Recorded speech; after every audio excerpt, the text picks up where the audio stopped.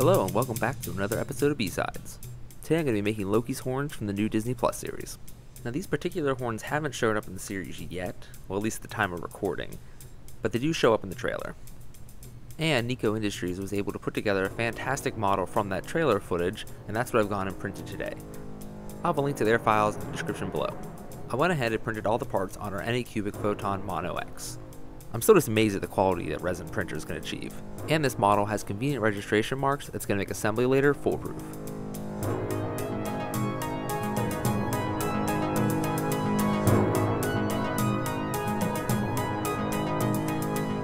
So let's get to work. The overall build on this one's going to be pretty simple, so I'm going to spend a lot of time focusing on getting a really nice smooth metallic finish which means I'm going to be using a lot of our favorite tools, including wood filler, primer, and high grit sandpaper. So we'll get right to the least thrilling part, sanding.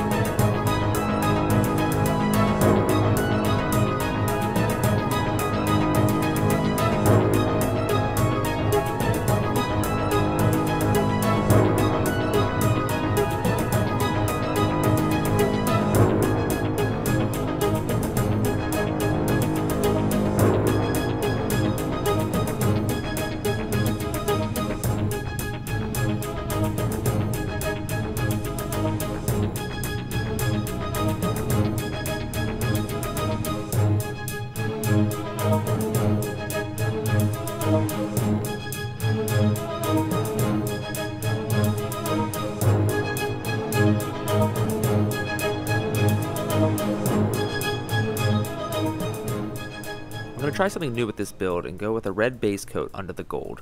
This should give it a nice warm tone and the gloss finish and make the gold look even better.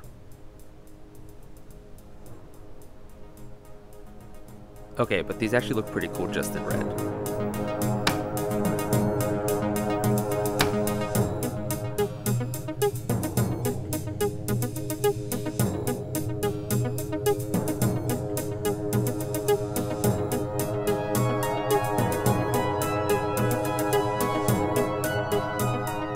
I am just so surprised at how well this came out. Usually, spray can metallics don't look that great, but this literally looks like it was dipped in gold. Just look how nice that finish came out. Be sure to like, subscribe, and hit the bell to stay up to date on all our upcoming projects. Thanks for watching, I'll see you in the next one.